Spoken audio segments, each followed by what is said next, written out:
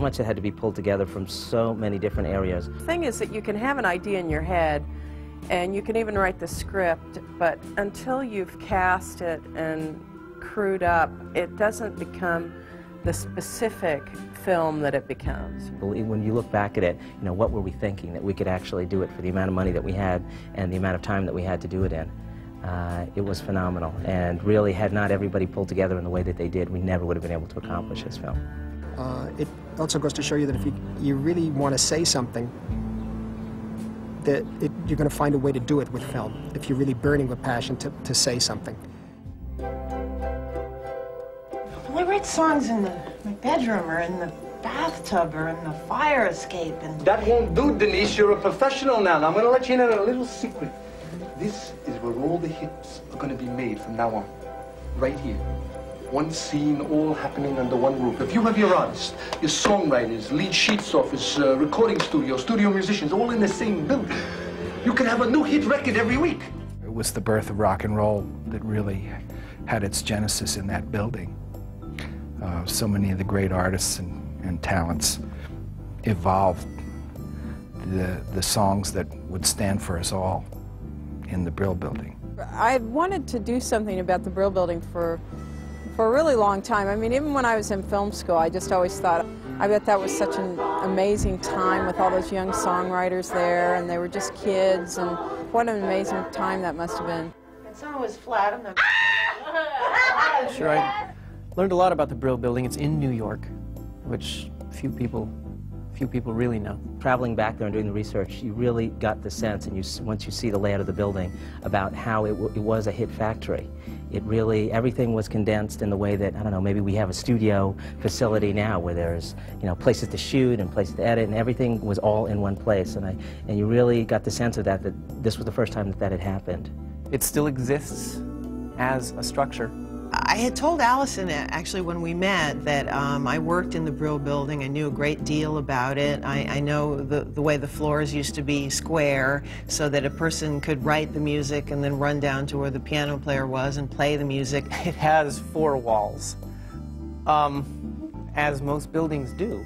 They would do everything in that building. They would write the songs, they would um, the publishers would be there, the lead sheets, off, you know, the recording studios. It was all under one roof. Kiddo, come on in. Sure, Good to sure. see you. Fellas, this is the young lady who wrote your next hit. They'd be looking for a song, say, for a given artist, and they'd go from one cubicle to the next cubicle, and people would pitch their songs, and they'd say, okay, this sounds good, and they had a studio in the place. They'd record the, the thing right there. They had producers on staff who worked there. Denise, we need a B-side. What else you got? B-side? Well, you know, I sort of write for girls, you know, like myself. But, uh, up, right? Up, up, up tempo. Up, yeah. Up tempo. Okay, something. Hmm, something good for me. But okay, let's see what I can do.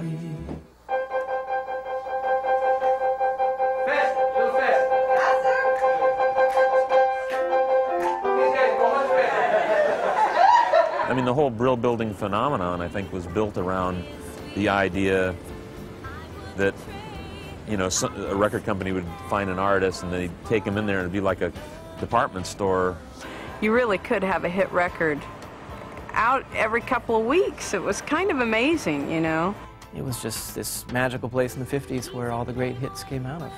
I was a little kid trying to get on bandstand, and everything that came down out of New York City came down through the Brill building into Dick Clark's uh, American Bandstand and was filtered into America that way. Of course, it goes way back to the, the turn of the century, Tin Pan Alley, Gershwin. The, that building has such history, and for years I wanted to do a picture about the build, what went on in the Brill building, and you could just take any given period of time and some other great uh, example of popular music and popular culture has come out of 49th Street and Broadway. The hits are just endless. Will You Still Love Me Tomorrow and Chapel of Love. Little Richard and Fats Domino. The Drifters. All the Monkees hits. Wake Up Little Susie. Chuck Berry and Elvis Presley. Up on the Roof. Last Train to Clarksville. All of the Goffin and King songs. Uh, Simon and Garfunkel. Anything by Gene Pitney. Neil Diamond. Shangri-Las Leader of the Pack. The Shoop song. Does he love me? I want to know. He hit me and it felt like a kiss. Phil Spector and the Wall of Sound. Hit song from the 50s. He hit me and it felt like a kiss. Dun, dun, dun, he hit me and it felt like a kiss. What, do you think I could make that up? that was a hit song. Be My Baby. Men treated women a little bit different in the 50s. Boy, I wish it was like that now. The girl groups, the Ronettes and uh, the Crystals. Uh, Leiber and Stoller, the great songwriters. Burt Bacharach, of course. The Shirelles. The Everly Brothers. He's a rebel. It's just phenomenal how many songs came out of there. I mean, that's considered the, the you know, golden age of music. Is that late '50s, early '60s? A lot of great stuff came out of that time. Denise, what do you think? I think it's a sure hit, Joel. Congratulations. Excuse me. Uh, this woman who jolted us back and said, you know, um, uh, uh, females, women, they, they have a point of view. Uh, there's this uh, something very interesting, and um, um, uh, we need to hear what they have to say. I think it probably was pretty radical the fact that, that women were actually behind the talent behind the um, the songs that were on the radios. The late 60s was kind of the genesis of this new thing called a female singer-songwriter. So God give me strength.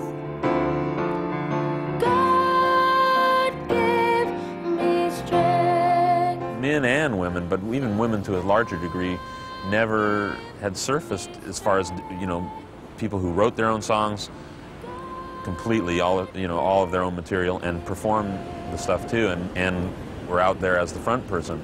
Pretty much, you were either a singer or a writer. I bet you have other songs too. No, no, I, I'm planning to record my own songs. What do you mean? I mean, you're either a singer or a songwriter. Which is it? I'm both. Nobody's both. You're either one or the other. Well, I'm both. There weren't that many examples really of men doing that either. I mean, there were a few, maybe Smokey Robinson, Chuck Berry.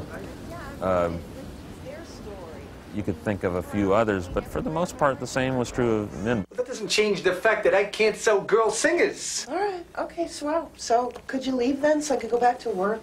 I mean, they're a mess. The 60s was an amazing time. I mean, I mean, probably the most, one of the most revolutionary decades in the century.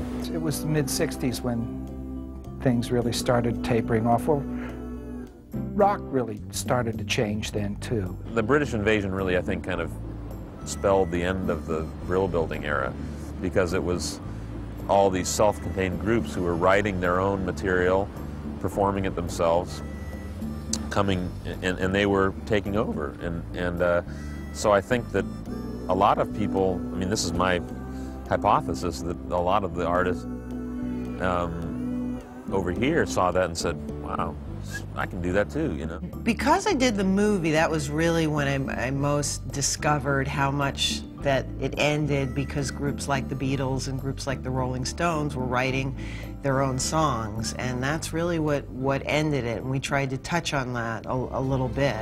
The whole game's changed now, kiddo. Everyone's writing their own material. And now with Betty checked into Lexington and Shasha getting married, that pretty much puts an end to the luminaries. I gave Doris some leads on session work out in Los Angeles. Have you, um, you know, have you thought about what you're going to do? That period of like uh, having a songwriter create something for you was finished because it was the age of the of the bands now, you know, who were writing their own songs. Not many groups really could write songs as well as the songwriters from the Brill Building, but they were made redundant. Lennon McCartney definitely changed that period, which probably saddened them because they were big Brill Building fans. the music scene shifted from New York to LA, and you know, it's like a salmon. Where else do you, you know do you go? Well, I always wondered what it was like after the the British invasion. All these great songwriters kind of booted out of the Brill Building, all hanging out down at the unemployment line. You know, must have been a really musical unemployment office.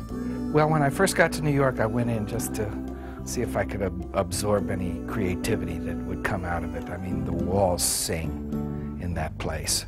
It's, uh, it's just haunted with ghosts. It's no longer a music uh, building, now it's a film building. We actually ended up mixing the picture in the same building that, you know, all these stories took place. You know, I worked for most of my time in the Brill Building in New York. From 1984, 85 on to uh, about two years ago. And when I mix my films, I live on the East Coast now, and when I when I uh, in New York, and when I mix my movies and I do basically the, the majority of the post production is done there now. It's always the Brill Building.